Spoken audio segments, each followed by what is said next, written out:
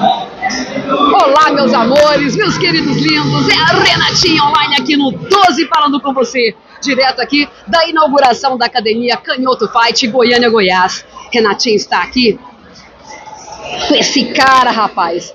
Esse é rodado, no bom sentido. é ele, é o Vitinho Falcão. Ele que me despertou uma curiosidade muito grande, galera. A gente conversou um pouquinho aqui, batemos um papinho antes da entrevista.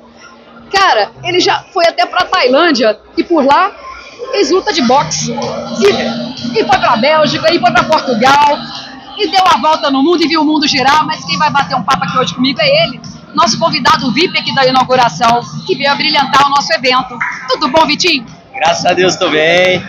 Bom dia, bom dia, galera.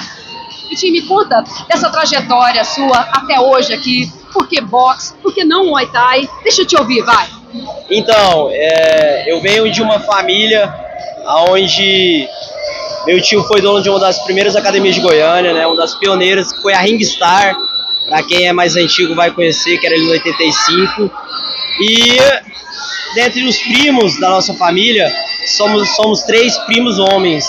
E eu e meu irmão mais atentado, meu tio sempre pegou, foi levando a gente pro esporte.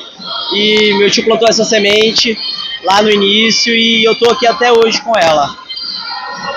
E assim, por essa passagem é bem extensa, mas vou tentar dar uma resumida para vocês. Comecei treinando na Ringstar, meus treinadores no início foi o Irailson, que coincidentemente foi o canhoto. Quando o canhoto começou a treinar no passado, eu já tinha começado. A gente foi parceiro de treino lá quando eu era criança, tinha 12 anos. Ele lá pelos 12, 13 anos dele também. E daí eu tive outro treinador que era o Marcão, que também era da Ringstar. Passando isso, eu fui treinar com 17 anos com o Leonardo Lívio. Aí eu fui onde eu conheci o Muay Thai, fui apresentado pro Muay Thai. Mas na época tinha, muito tinha muito pouca oportunidade de lutar Muay Thai aqui no estado, aqui em Goiânia. E acabava lutando os eventos do Wagner Steve, que era K1, que era o que tinha pra gente lutar. Depois disso veio a febre do MMA, o Léo me conduziu pro lado do MMA, competi MMA por bastante tempo. Em 2012, 2013, final de 13 para início de 14, eu conheci o Newton, Newton Freitas, Newton que é meu mestre hoje, quem conduz minha carreira. E aí, até 2019, eu fui seguindo paralelo a carreira de MMA e lutando boxe. Segui essas duas carreiras. Em 2019, eu ganhei uma oportunidade de ir para Portugal através do meu amigo Ricardo Bernardes, que me fez esse convite.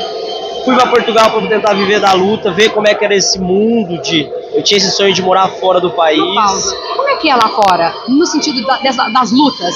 Tô, tô, falando agora só do boxe.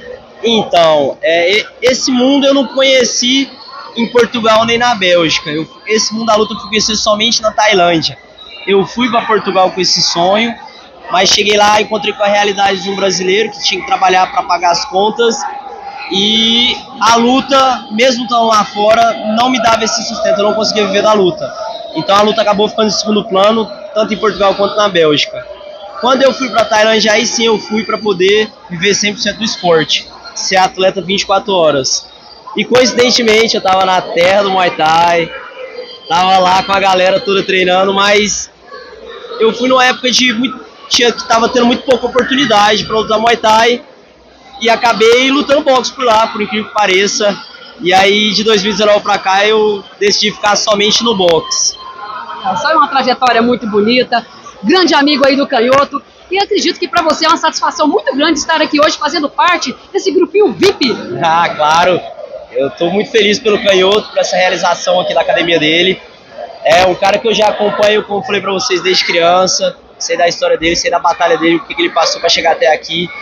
Cara, ter, ter, ter uma academia dessa daqui vai engrandecer demais pro esporte e espero que seja um sucesso total para ele. É osso ou é só de cá? Porque agora virou Muay Thai, virou boxe. Acho que é, é mais dois, pra... É. Osso Faz um osso e um cap. Ô Zap! Ô Zap! Ô Zap! Fui, meus queridos!